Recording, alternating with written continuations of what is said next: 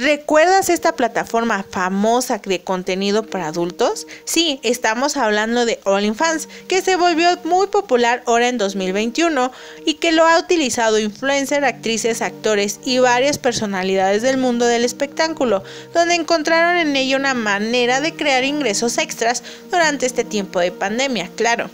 Entre ellos, pues Pablo Perroni ha asegurado que no se despojará de sus prendas por dinero, aunque respeta a quienes utilizan la plataforma para generar ingresos. Y a pesar de que el actor cuenta con un gran número de seguidores en redes sociales que le han pedido que muestre un poco más, se, se niega a crear su página en dicha plataforma.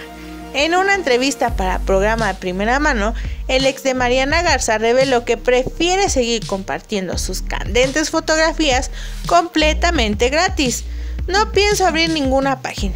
Respeto a quienes lo hacen y sé que es una forma de ganar dinero, pero ustedes no tienen que pagar absolutamente nada, solo van a mi perfil y yo los acepto, dijo el actor Pablo Perroni.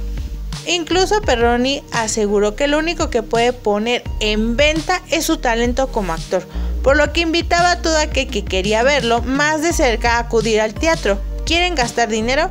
Vengan al teatro y así sí es mi profesión. Pablo se ha caracterizado por subir imágenes bastante sugerentes en sus redes sociales, lo que ha valido piropos a algunos famosos, incluso el simpático conductor Pedro Sola. ¿Y tú qué opinas? ¿Que se inscriba al OnlyFans? Ya que todos los días te traeremos el alboroto de los famosos.